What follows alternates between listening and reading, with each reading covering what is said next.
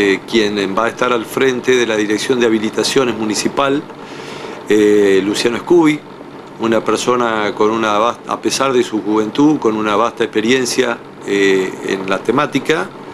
y que mm, el espíritu de nuestra Dirección de Habilitaciones va a ser facilitarle al comercio de Gualeguaychú todo lo que es el proceso de habilitación, desburocratizarlo y este, tener una actitud amigable, comprensiva y flexible para que en un momento de tanta crisis y recesión, el comercio que eh, sabemos todos que da mano de obra y está pasando por momentos de dificultad para hacer frente a la crisis, pueda encontrar en el Estado municipal alguien que pueda contener su situación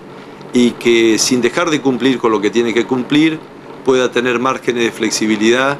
y pueda eh, también saber que nosotros prestamos oídos a las situaciones particulares que puedan presentarse. Muy contento de formar parte del equipo de Jorge, eh, súper agradecido con él eh, por valorar y, mi trayectoria y mi experiencia. Como licenciado en Seguridad y Higiene, asesoro desde el año 2012 a comercios de la ciudad para su habilitación. sé lo que viven a diario, estoy permanentemente en contacto con muchos comerciantes,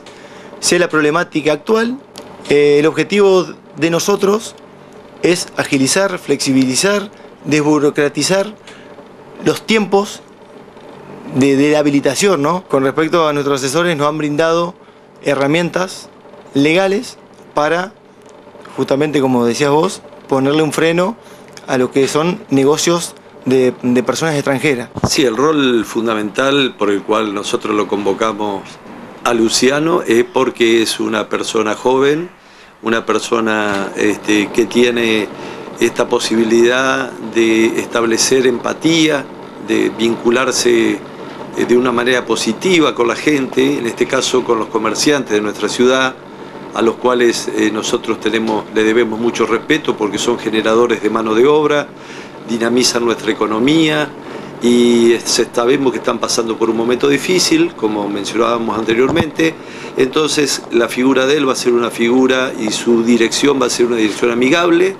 pero además en relación a lo que tiene que ver con la instalación del comercio eh, extranjero, las herramientas jurídicas que mencionaba ya están a nuestra disposición para ir poniéndole freno a esta instalación indiscriminada de empresas extranjeras que van en detrimento del comercio local y nosotros nos debemos como municipio al comercio local. Es decir, que vamos a ser muy contundentes en proteger al negocio, al comercio eh, nuestro, a nuestro, al, negocio de nuestros vecinos y en relación al comercio extranjero vamos a usar todas las herramientas jurídicas que tengan a nuestro alcance para ir poniéndole freno porque este, de no ser así, eh, realmente las consecuencias van a ser muy negativas.